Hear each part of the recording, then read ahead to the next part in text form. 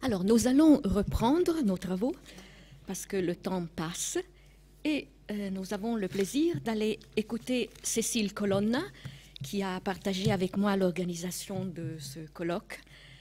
Cécile a été conservateur au département des euh, monnaies, médailles et antiques de la Bibliothèque nationale de France, où elle s'occupait de la céramique, des figurines et des reliefs en terre cuite. Elle a organisé des expositions qui ont fait date, comme celle de Rouge de Noir, les vases grecs de la collection de Luynes, et puis une exposition qui n'a pas été à Paris, le trésor Berthouville et le luxe romain, qui a été organisée en collaboration avec le Getty Museum, donc euh, euh, à Los Angeles, ou peut-être plutôt à Santa Monica, et après dans d'autres musées aux États-Unis, et New York tout. Eh ben voilà. Ben voilà et apparemment aussi à Arles. L'année dernière. Actuellement, euh, depuis deux ans, je crois, elle est conseillère scientifique pour l'histoire de l'art antique et de l'archéologie à l'INHA, où elle dirige le programme euh, auquel est rattaché ce colloque. Et en particulier, elle dirige un programme sur les collectionneurs d'antiques au 19e et 20e siècle et sur les ventes aux enchères. Et donc, fidèle à sa première passion, nous parle des vases dans l'expérience de Winkelmann, dans les écrits de Winkelmann. Merci. Merci Daniela. Donc effectivement, on a vu euh, depuis euh, les communications d'hier que Winkelmann s'est surtout intéressé à la sculpture, à la grande sculpture en marbre ou à la gravure sur pierre dure. Et on vient euh, d'en parler. Donc si dans l'histoire de l'art de l'Antiquité, il a abordé d'autres types de productions, elles sont restées minoritaires et les vases grecs en font partie. Pour autant, l'approche du savant à leur propos s'est révélée décisive, mais la brièveté de ces mentions fait que cette approche est souvent survolée, voire parfois déformée. Dans l'historiographie du vase grec, Winkelmann est surtout crédité de deux approches, comme on l'a déjà évoqué euh, ce matin avec euh, l'intervention de Max Kunz. Tout d'abord, il a compris que dans la querelle ouverte à son époque pour savoir si tous ces vases trouvés dans le sol italien euh, et portant de riches décors figurés étaient grecs ou étrusques, la vérité se trouvait plutôt du côté de la tradition napolitaine, qui penchait pour une production grecque des vases trouvés en Campanie, contre la tradition florentine tenante d'une identité étrusque. Par ailleurs, il a exalté la beauté du dessin de certains de ces vases dans un célèbre passage comparant leurs traits avec celui de Raphaël. beauté du dessin, création grecque, voici euh, deux gages de qualité pour le savant du XVIIIe siècle. Et le vase grec serait-il alors une véritable œuvre d'art? D'autres, après lui, le diront sans embâge. Mais si l'on s'en tient au texte de Winkelmann, les choses ne sont certainement pas si simples. Les études sur l'histoire du vase grec ont été très dynamiques depuis euh, une vingtaine d'années et euh, je, vais m'appuyer sur les travaux menés notamment par Claire Lyons, Maria Emilia Maschi, Martine de Noyel, Vinnie Norskov ou Stephen Schmidt pour citer les principaux, qui donnent une bonne vue d'ensemble de euh, l'étude et la réception de ces objets. En, reprenant ici les principaux écrits de Winkelmann sur ce sujet, avec comme prisme de lecture euh, ce qui nous euh, réunit aujourd'hui, les genres artistiques, pour approcher la manière dont ces vases sont considérés, voire théorisés. Je ne reviendrai pas sur les passages sur leur caractère grec ou étrusque des vases, et je ne m'intéresserai pas non plus euh, aujourd'hui aux écrits herméneutiques sur les scènes figurées qui sont principalement présents dans les Monumenti Inediti, comme on vient de le voir dans la précédente communication. Et il sera, comme souvent, nécessaire de réévaluer l'apport réel de Winkelmann en la matière et de s'interroger sur quelques, manières, euh, manières dont ces positions ont été reçues. Alors, le vase grec est d'abord euh, considéré assez logiquement comme un objet utilitaire dans l'histoire de l'art de l'Antiquité, en 1764, il, euh, Winkelmann évoque les différents usages. Jouets d'enfants pour les plus petits, vases servant au sacrifice, urnes cinéraires, prix pour les vainqueurs des jeux et sans doute vases pour le bain. Ce caractère utilitaire est souligné par la composition choisie pour la vignette du premier chapitre. La légende nous indique qu'elle rassemble les œuvres les plus anciennes de la sculpture et de l'architecture, et à propos du vase retenu qu'il s'agit d'un vase étrusque représentant deux personnages près d'une tombe ou d'une urne cinéraire et qu'il appartient au peintre Raphaël Mengs. L'image représente un cratère en cloche avec une scène de visite à la tombe, vous le voyez, mais en fait le vase de la collection Mengs aujourd'hui au Vatican, à la forme même de l'hydrie qui est figurée sur le tertre. Et d'ailleurs, dans les Monumenti Inediti en 1767, Winkelmann le republiera avec la forme correcte. Donc dans la Geschichte, l'important est la scène figurée qui montre l'hydrie en situation. Notons aussi que le mot utilisé par Winkelmann ici, comme dans le reste du livre, est Gefas, contenant récipient et non vase, comme l'usage s'est imposé ensuite et jusqu'à aujourd'hui. Donc en abordant ainsi le vase grec, Winkelmann suit la tradition antiquaire, celle de Montfaucon notamment, qui s'intéresse aux poteries comme objet de la vie quotidienne. Mais cet aspect, qui sont éloignés évidemment de ses intérêts directs sur l'art, ne le retient pas beaucoup. À plusieurs reprises, Winkelmann insiste sur le nombre des vases retrouvés. En effet, dans la première moitié du XVIIIe siècle, vous le savez, les découvertes se sont multipliées dans les nécropoles de Campanie surtout, et les vases ont envahi les collections aristocratiques, mais aussi les étagères et cheminées de nombreux Napolitains, avocats, musiciens ou euh, étrangers. Une atmosphère qui peut être évoquée avec ces deux vues euh, de l'intérieur de l'appartement napolitain de Lord Fortrose, un peu postérieur, où les vases s'insèrent, on le voit, dans une décoration éclectique des murs, mêlant antique et moderne. À gauche, ils sont au-dessus d'une bibliothèque légère, euh, et à droite, un vase est au-dessus du meuble sur le mur de droite. Winkelmann indique ainsi dès 1764 avoir vu entre Rome et Naples plus de 500 vases figurés, nombre grandement augmenté grâce aux nombreuses collections euh, détaillé dans les ajouts de l'histoire de l'art parus ensuite de manière posthume. On est donc dans une production qui est à de nombreuses reprises présentée comme pléthorique.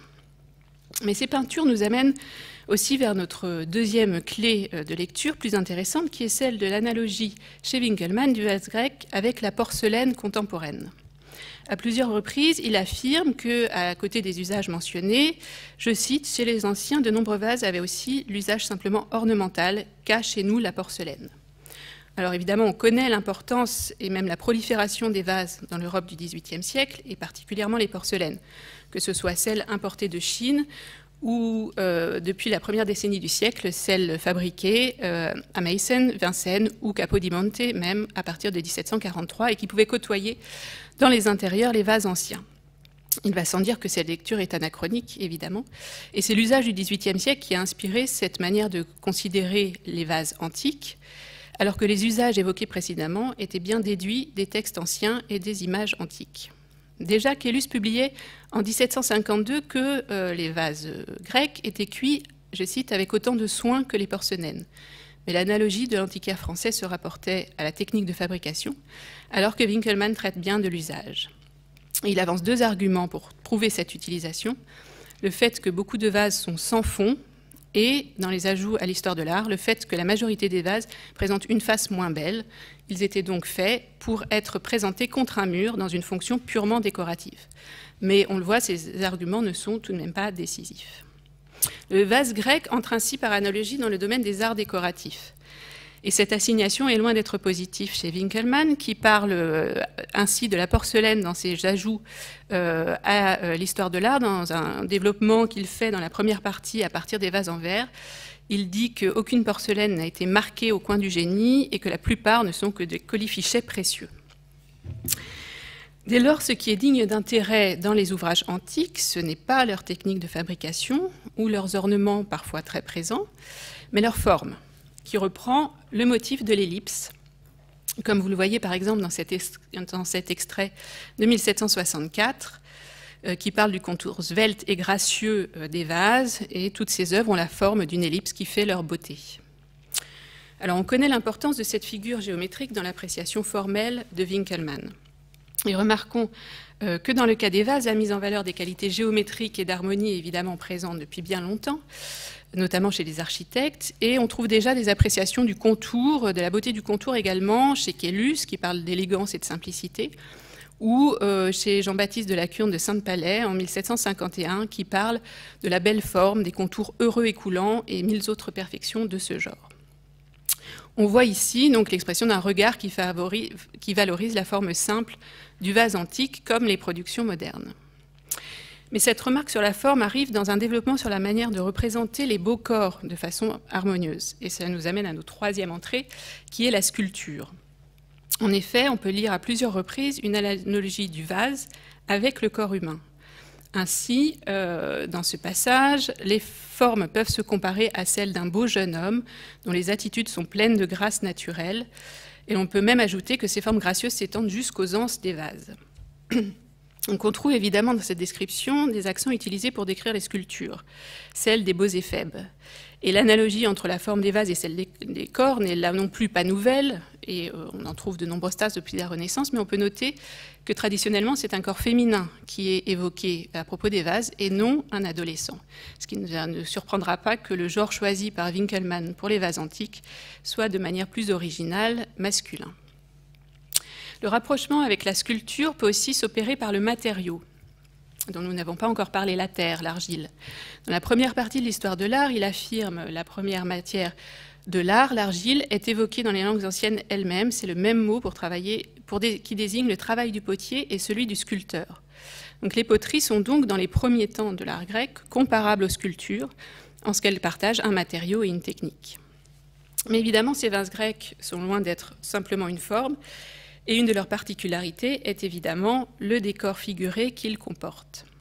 Et c'est là, on l'a dit, un apport essentiel de Winkelmann.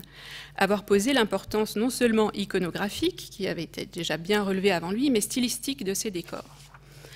Cet intérêt avait pu être relevé sporadiquement, notamment par Kellus, mais Winkelmann théorise véritablement ces vestiges comme de véritables dessins d'artistes. Remarquons d'abord que son intérêt pour ces images a évolué, puisque euh, en 1760, dans la description des pierres gravées de Stoch, il parle des urnes et vases qui ne sont que des ouvrages d'artistes d'un genre inférieur. Dans l'histoire de l'art en 1764, et plus encore dans les ajouts sur lesquels il travaille encore en 1768, il est devenu beaucoup plus admiratif des plus beaux exemplaires. Et on peut dire que son intérêt va grandissant et dans une, certaine mesure, l'évolution de ce regard suit aussi un déplacement géographique. Depuis l'Allemagne, où les vases grecs sont encore rares, à Rome, où le marbre domine, puis à Naples, où les vases grecs sont collectionnés et valorisés depuis longtemps, on l'a déjà évoqué. L'érudition antiquaire voyait plutôt ce répertoire d'images comme un accès au savoir sur les anciens et cherchait donc à en comprendre le sens ce qui va avec une tradition de présentation dans les bibliothèques, avec les livres depuis le XVIIe siècle, et qui est en œuvre dans la Galleria Clementina du Vatican, mise en place en 1733 et que Winkelmann connaît bien puisqu'il y travaille, on le sait, à Rome. Cette vue évoque cette présentation. Et vous voyez, les vases sont regroupés au-dessus des meubles qui contiennent les livres, entre et devant les fenêtres, de manière assez aérée, avec un rythme des formes grandes ou plus petites. Et ce type de présentation avec les livres et donc séparé de l'art antique, de la sculpture, va encore prévaloir longtemps. Remarquons qu'ainsi, il est d'ailleurs impossible de voir correctement chaque vase et chaque image, et c'est la forme qui euh, est simplement perceptible. L'approche stylistique du dessin est donc nouvelle par rapport à celle de l'érudition. Et la présentation de certaines collections à Naples, moins austères, ont pu jouer aussi un rôle dans ce changement de regard. La collection la plus importante était euh, dans les premiers voyages de Winkelmann en 1758 ou en 1762, la collection Mastrilli, dont la disposition était tout à fait novatrice. Aucune vue euh, de la collection Mastrilli ne nous est malheureusement parvenue, mais les nombreuses mentions et descriptions euh, montrent que les vases figurés, qui étaient environ 400, y étaient véritablement mis en valeur dans la galerie du Palazzo di San Nicandro à partir de 1752. Ils étaient mis en scène sur des socles et intégrés à une présentation murale avec des cadres dorés selon un ordonnancement très symétrique qui mettait en valeur les contours, mais aussi les, images qui euh, étaient descendues à hauteur d'yeux, donc bien plus facile à voir et à apprécier. Et alors, je vous ai remis euh, cet euh, intérieur de Lord Fortrose, puisque on a pu penser que ces, ces, vases présentés sur des supports sortant des cadres pouvaient euh, être... Euh, non, ça marche pas. Bon, je vais me faire avec la souris. Pardon. Enfin, vous le voyez, euh, sur le mur du fond, il y a des petits supports dorés qui sortent du mur, qui portent ici des statuettes, mais donc il pouvait être ce type de présentation qui présentait les vases. Euh, dans une présentation très en avance sur son temps et qui mettait sur un pied d'égalité, donc euh, peinture et gravure moderne, et euh, art antique. Et c'est une présentation qui a largement impressionné les contemporains. Et Winkelmann en fait l'éloge à plusieurs reprises. Et il en recommande la visite dans ses lettres à ses amis qui se rendent à Naples. Donc si on revient à l'histoire de l'art, Winkelmann consacre au style des dessins de vase un long paragraphe très dense où nous pouvons commencer à relever euh, les phrases euh, en grand et en blanc, où il parle de la maîtrise et de l'élégance du dessin, la justesse et l'habileté de ces artistes dans le dessin. Et pour conclure, une collection de ces vases est un trésor de dessin. Et chacun de ces vases est unique. Winkelmann souligne bien qu'il ne s'agit pas de copies, euh, et que même si des compositions se ressemblent, tous les vases sont différents et sont donc des créations. pour évoquer la beauté de ces dessins, je vous mets quelques images du plus célèbre vase de la collection Hamilton, l'Hydrie de Meidias, que Winkelmann décrit dans, les ajouts à l'histoire de l'art euh, et qu'il considère comme le plus bel exemple de dessin antique qui nous soit parvenu. Cela m'amène à dire un mot euh, nécessairement rapide sur les rapports entre Winkelmann et Hamilton. Sir William Hamilton arrive comme envoyé extraordinaire à la cour de Naples en 1764 et il développe vite deux passions, la vulcanologie et, ce qui nous intéresse plus, l'art antique. Il constitue très rapidement la plus belle collection euh, de vases grecs de la ville, euh, notamment en rachetant euh, des vases d'anciennes collections comme celle de la collection Mastrilli ou des vases qui sortent de terre et il confie la publication de sa collection à Prière François Hugues, dit baron d'Ancarville, euh, ce personnage haut en couleur, aventurier, mais aussi euh, avec des ambitions de grand savant. Euh, Ancarville supervise la réalisation de magnifiques planches en couleur. Celles du premier volume sont achevées en 1767 et Hamilton sollicite Winkelmann, qui est alors à Rome, pour écrire le texte d'explication. Lui et euh, Hamilton et Dancarville ont évidemment lu l'histoire de l'art et certainement retenu l'admiration exprimée pour le dessin comme pour la forme. Il envoie à Winkelmann les planches du volume 1 dès avril 1767 et ce dernier se rend à Naples en septembre où, euh, pendant deux mois, il est hébergé par Dancarville dans une chambre décorée de vases, non pas de la collection Hamilton, mais qu'il dit dans une lettre être les siens. Je cite, À Naples, j'occupe chez un des plus grands aventuriers qu'il y ait ma propre chambre qui est ornée de vases étrusques qui m'appartiennent et dont mon hôte augmente le nombre pour moi. Devant la demande donc d'écrire les explications, il semble qu'il ait d'abord hésité pour finalement, sans doute séduit par la collection Hamilton et par ses attentions des deux hommes, accepter la proposition. Mais sa mort, euh, quelques mois plus tard, a interrompu l'affaire. Winkelmann a à minima échangé avec Dancarville et donné quelques indications sur certains vases qui se trouvent dans le deuxième volume.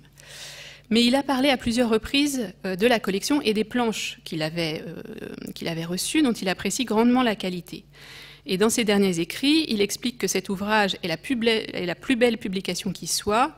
Il apprécie le rendu des couleurs originales, une grande nouveauté à l'époque et euh, trouve très avantageux que chaque vase soit représenté deux fois, une fois avec sa forme avec l'indication des dimensions, comme vous le devinez euh, sur l'exemple à gauche, et euh, des planches avec les figures qu'il considère justes et fidèles. Et pour lui, ces reproductions apportent une preuve de la perfection de certains de ses dessins. Il a ainsi validé cette interprétation graphique très libre des scènes, ici assimilée clairement à des tableaux, avec le redressement des images et surtout l'ajout d'un véritable encadrement tiré du répertoire ornemental des vases. Mais revenons aux écrits euh, même de Winkelmann. Donc, on l'a dit, la comparaison qui marque les esprits est celle qu'il euh, place avec celle qu'il fait avec celui qu'il place au parangon de l'art, inspiré de l'antique, Raphaël. On le sait, euh, dans toutes les théories de l'art de l'époque, Raphaël est considéré comme l'artiste moderne par excellence du disegno. Et avec cette phrase, Winkelmann est le premier à faire le rapprochement entre le peintre de la Renaissance et le dessin des vases grecs. Mais vous le voyez, il ne va pas jusqu'à placer de manière équivalente les deux types d'œuvres. Il dit que certaines figures auraient un rang honorable dans un dessin, mais non une peinture du maître. Car nous sommes bien dans le domaine du dessin et de l'esquisse, et Winkelmann ne va jamais jusqu'à considérer ces images comme des peintures. Mais il s'agit d'un dessin d'un type particulier. Et le support et son matériau ne sont jamais oubliés, comme vous le voyez un peu plus bas dans le paragraphe. Euh, il parle de l'exploit que représente le dessin sur un tel support, puisque cette peinture requiert une exécution habile et rapide, à cause de la terre qui, selon lui, absorbe et rend nécessaire la vitesse d'exécution. Chaque trait est unique et aucune reprise n'est possible, ce qui doit être regardé comme une qualité quasi miraculeuse. Ce passage insiste donc sur la maîtrise technique, celui du trait, à cause des matériaux employés, euh, qui empêchent le, le droit à l'erreur. Alors ces considérations sur la qualité et la matérialité du dessin, qui sont présentées comme indissociables, sont sans doute à rattacher à une tradition des artistes et à mettre en rapport avec la fréquentation des peintres par Winkelmann et à commencer évidemment par Anton Raphael Mengs. Ce dernier avait constitué une collection d'environ 300 vases, sans doute principalement lors d'un séjour à Naples en 1759-1760, dont certains sont gravés dans le Monumenti, et vous en reconnaissez un qu'on a déjà vu tout à l'heure. On crédite souvent Winkelmann d'avoir conseillé Mengs dans ses achats, mais l'influence est sans doute plutôt à considérer dans l'autre sens. La présence des vases grecs dans les collections des artistes, qui n'est pas toujours facile à établir, remonte au moins au siècle passé. Poussin sans doute et certainement Giovan Pietro Bellori. Ces mêmes artistes à qui le savoir antiquaire demandait de plus en plus, on le sait, de relever de manière beaucoup plus fine le décor de ces artefacts antiques. Or, c'est Bellori qui, le premier, a mentionné en 1664 l'intérêt de la composition et de l'expression des images des vases. Et il dit euh, de ce cratère en cloche, euh, alors en sa possession comme le dessin que vous voyez à gauche, qu'il s'agit du plus beau vase qu'il ait vu. On peut aussi citer le peintre Charles-Alphonse Dufresnoy et son poème De Arte Graphica, euh, où la poterie figurée est, présentée comme un exemple intéressant d'art ancien. Donc il semble que ce soit les peintres qui étaient les premiers à affirmer la qualité du dessin des vases grecs, et les écrits de Winkelmann permettent l'irruption de ce savoir artistique dans le champ antiquaire. Et les remarques très pratiques que l'on a vues sur le caractère particulier du dessin sur la terre et ses contraintes, même si on les sait aujourd'hui en partie erronées, semblent porter la, porter la trace de la transmission d'un savoir technique, de l'œil du praticien qui perçoit la difficulté de la tâche. Mais c'est bien l'œil d'un dessinateur ou d'un peintre puisque alors que les questions sont très nombreuses chez les antiquaires de son temps sur les techniques de poterie ou sur la nature du vernis noir employé dont on ne comprenait pas la composition et dont le caractère inaltérable fascinait, cela n'intéresse absolument pas Winkelmann. Cet intérêt euh, pour le matériau du dessin euh, et non du pot, qui est rarement relevé, est aussi euh, perceptible sans doute dans le choix de l'unique vase reproduit en lui-même dans l'histoire de l'art en 1764, en illustration, du chapitre sur les Étrusques. Ce vase, qui appartient aussi à Mengs, l'intéresse parce qu'il fait partie des rares exemples, selon lui, qui possèdent de nombreuses couleurs, surtout, vous le voyez sur la photo, des réaux blancs et rouges, et il donne une description détaillée de ce qu'il interprète comme une parodie des amours de Zeus et Alcmène. Cela peut tout de même surprendre, après les propos très laudateurs que nous avons évoqués sur les plus beaux vases grecs, de le voir choisir comme seule illustration un exemplaire qui ne brille ni par la qualité du dessin, ni par sa retenue. Donc est-ce que euh, c'est là un modèle à proposer aux artistes ou faut-il y voir comme une réticence à véritablement proposer le vase grec comme trésor de dessin?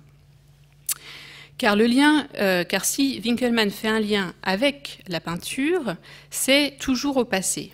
Et euh, dans les ajouts euh, à l'histoire de l'art, il, va jusqu'à opérer un rapprochement avec un type de peinture considéré comme relevant des premiers temps de l'art grec, mentionné par Pline, les monochromata, dans le chapitre consacré, euh, au développement de la peinture des Grecs.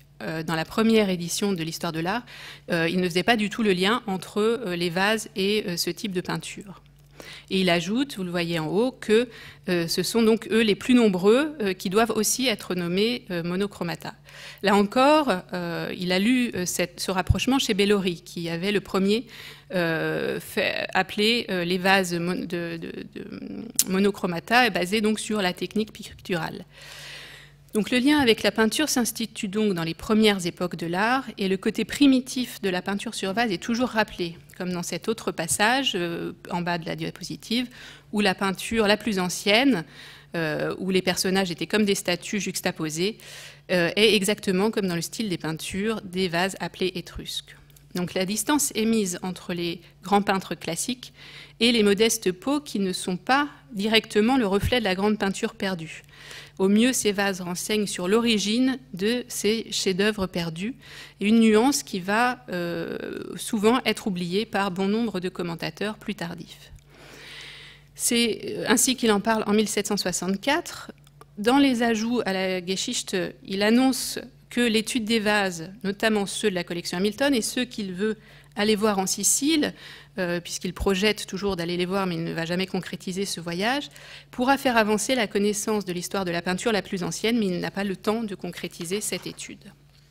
Donc le dessin des vases aurait donc beaucoup de similarités avec le dessin moderne. Ils sont liés à l'origine des autres arts, la peinture, la sculpture, mais avec des caractères propres, un support évidemment difficile à oublier, qu'ils ne réduisent pas au genre du XVIIIe siècle.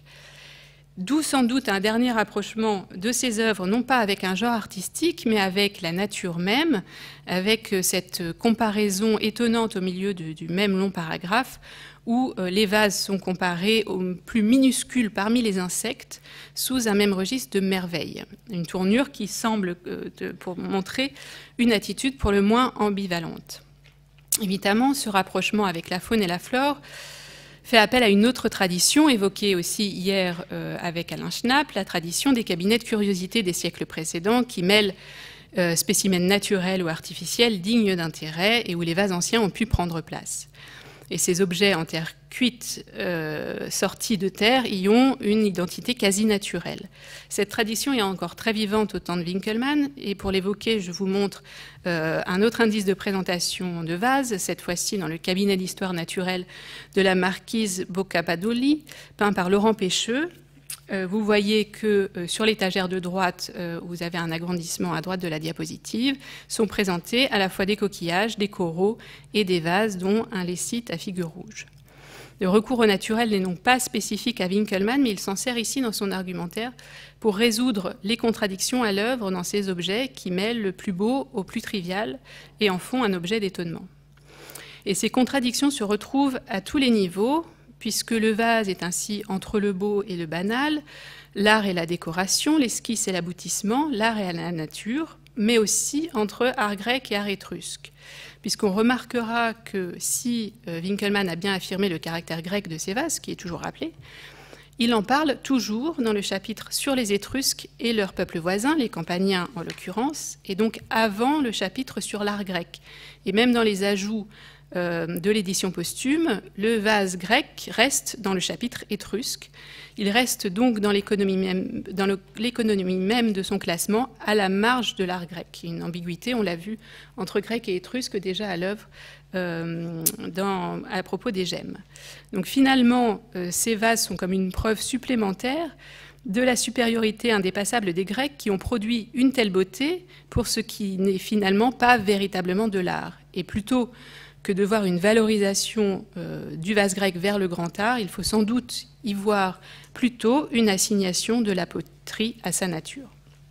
Donc similaire aux porcelaines contemporaines, le vase portant des dessins peut toutefois partager des caractéristiques stylistiques avec la peinture et surtout le dessin, mais selon des modalités difficiles à comprendre dans le cadre de la stricte analogie, puisqu'il ne rentre dans aucune catégorie.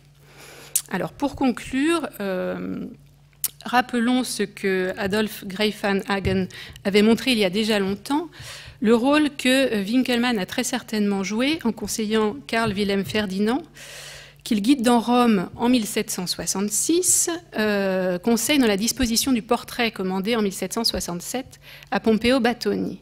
Il est en effet accompagné, vous le voyez, de cinq vases qui sont utilisés pour la première fois comme par Erga dans ce type de portrait. Ce sont des vases de la collection Mengs, toujours, qui à l'époque étaient en Espagne et qui ont donc très certainement été proposés par Winkelmann lui-même, lançant ainsi une mode du portrait où le vase grec devient un signe de culture et de prestige et montrant très directement le statut de ce vase dans la deuxième moitié du, XVIIIe siècle. Le vase grec accède donc au tableau, mais reste encore très discret, presque comme un dessin tenu en main. Comme toujours, les écrits de Winkelmann ont eu, un, grand écho, mais on en a parfois fait une lecture rapide et donc à contresens. Et la comparaison avec Raphaël a été prise ainsi pour argent comptant par Hamilton et Ancarville, qui vont, dans leurs publications, dont on sait euh, l'immense succès, assimiler dessins des vases grecs et véritables peintures, et parler des vases comme du reflet de la grande peinture grecque perdue.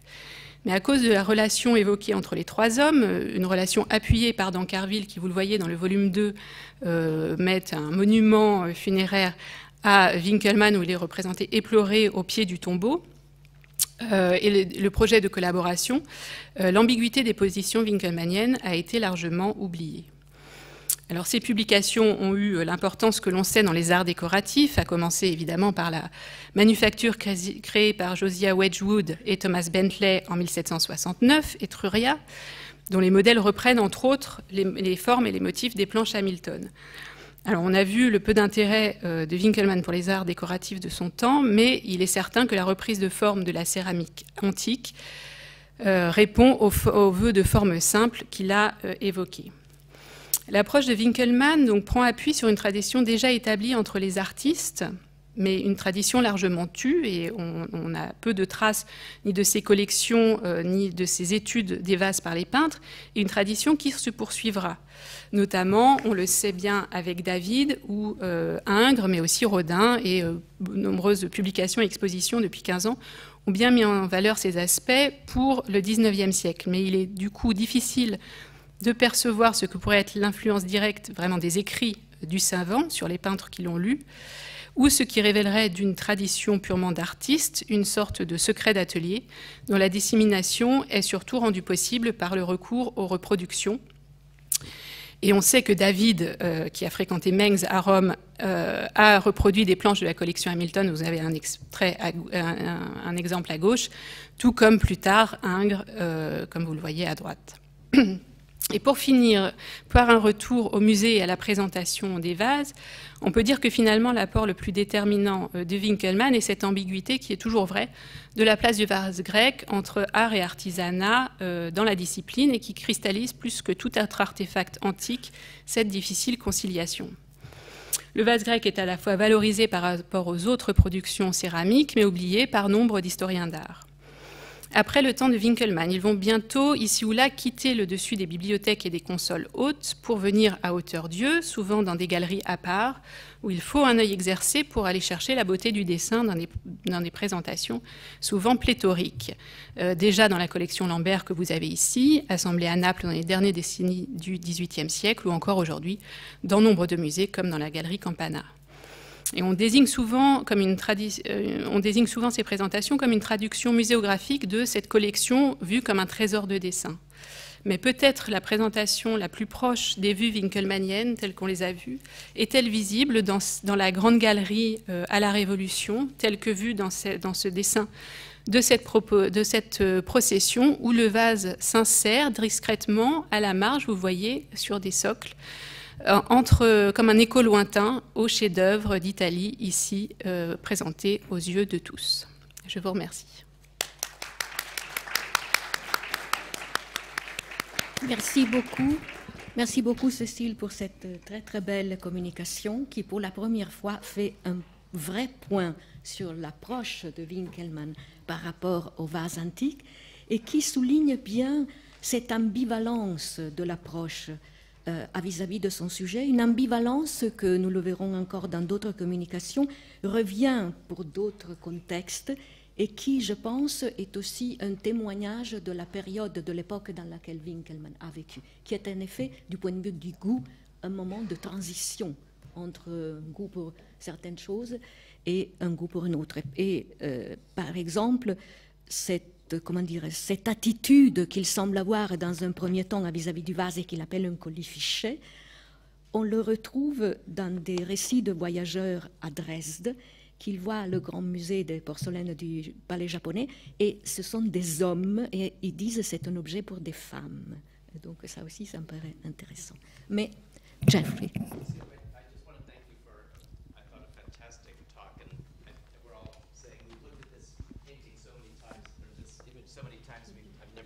Vases on either side of the Raphael. So thank you so much. Um, just about that point of vases being, you know, feminine or masculine.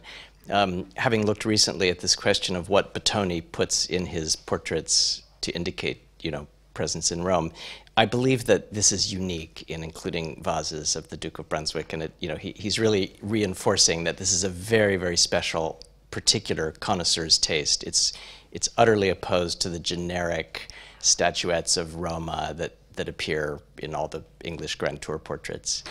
Um, and I just wanted to ask you, I, I, really appreciated your point about the d'Ancarville volumes of the Hamilton vases, about showing each vase twice, but I believe in some cases vases are actually shown three times, including some from perspective views that really do emphasize their sculptural qualities and reproduce the same type of graphic conventions that you'd, you'd find in sculpture.